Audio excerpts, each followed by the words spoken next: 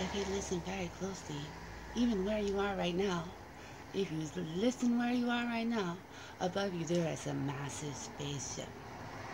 And anytime you listen, it doesn't matter when you listen, there is a huge spaceship above you that you can hear right now and right above you, wherever you are, whenever you listen.